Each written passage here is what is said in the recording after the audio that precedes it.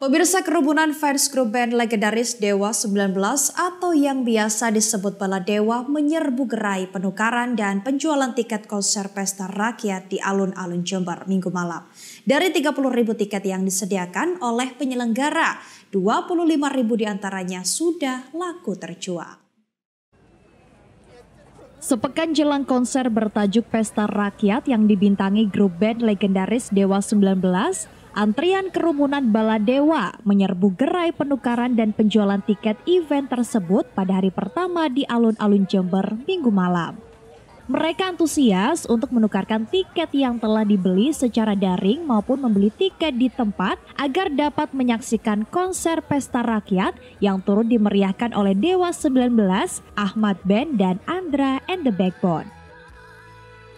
Menariknya, alih-alih diserbu oleh para generasi kelahiran 70 hingga 80-an yang lekat dengan lagu-lagu Dewa 19, antrean para bala dewa justru didominasi oleh para kaum muda milenial kelahiran 90-an. Meski begitu, salah seorang baladewa milenial mengaku antusias untuk menyaksikan kesempatan langka grup band legendaris Dewa 19 yang bakal manggung di bumi Pandalungan. Tiket apa untuk yang Dewa ini? Beli tiket yang kelas apa? Uh, tribun B sama Tribun C. Berapa tiket? Berapa untuk berapa orang? Empat orang ya. Uh, ini kelahiran berapa sih Mbak? 96. 96 ya. Kenapa sudah Dewa? Kan 96 itu kan masih uh, baru ya. Enggak lagu-lagunya sih. Hmm. Enak semua. Apa yang paling seneng lagu favoritnya? Liriknya lah, liriknya. Yang paling seneng lagu apa?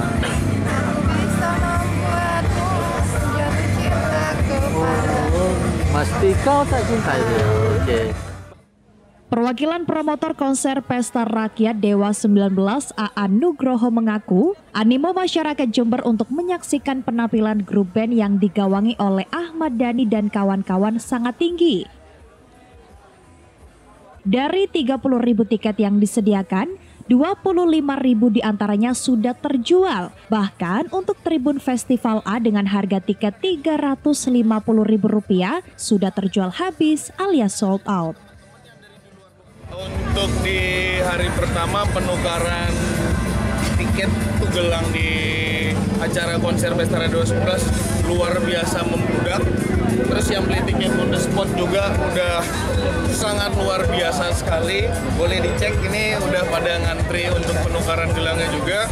Kita tadi start mulai di jam 4 cuman baru membludak itu sekitar jam 7 lah jam 7 kita nanti akan tutup di sini sampai jam 10 saat ini by data sudah hampir 25 ribu dan kita ada limit kuota yang di mana kuotanya hanya 30 ribu so ini makin tipis cepet-cepetan buat teman-teman Baladewa Balalewi amanin tiket kalian kalau yang online bisa dapatkan di Dewa Tiket yang mau, mau on the spot langsung kita bisa di Jember Sport Garden dari jam 10 pagi sampai jam 8 malam Selanjutnya penukaran dan penjualan tiket untuk konser Pesta Rakyat Dewa 19 akan dipusatkan di Stadion Jember Sport Garden, Kecamatan Ajung mulai Senin 9 Oktober 2023.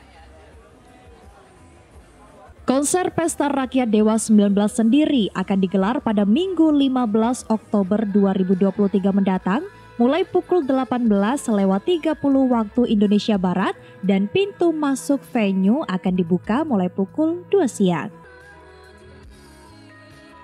Dari Jember, Vicky Mardika mengabarkan untuk KJTV.